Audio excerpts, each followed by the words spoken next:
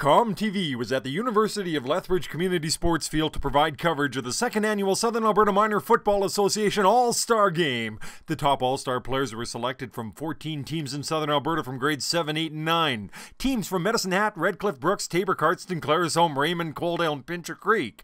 The top All Stars formed two competing teams, an excellent crowd in attendance who braved the cool temperatures and were treated to the best of the best of Southern Alberta Minor football. The black jerseys ended up winning the game 20 to 14.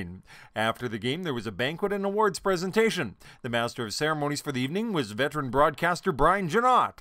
The guest speaker for the evening was Jon Gott, who started his career in junior high playing for the Lethbridge Stampeders.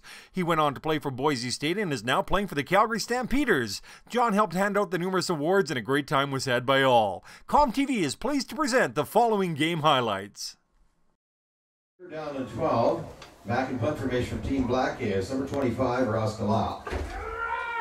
And lone deep man for Team White is 30, Hunter Sorgar.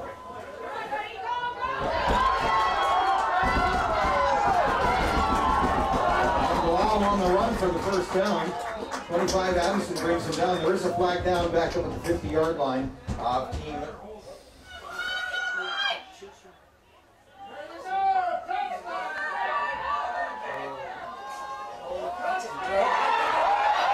Catches made by Winder. Touchdown Black. Number 21 wide Winder, 17 yard pass from Garrett.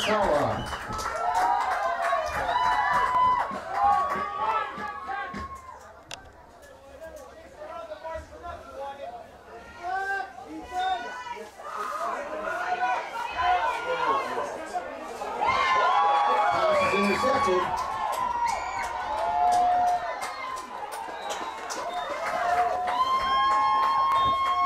Thirty-two, Ben Nielsen on the interception.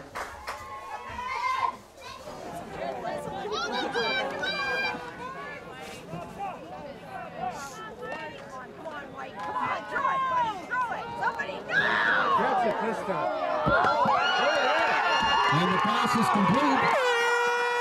Touchdown, Justin Means makes the catch. Traffic, Means it dives over for the touchdown. 38 yards on the pass from number 10, Lucas Roth.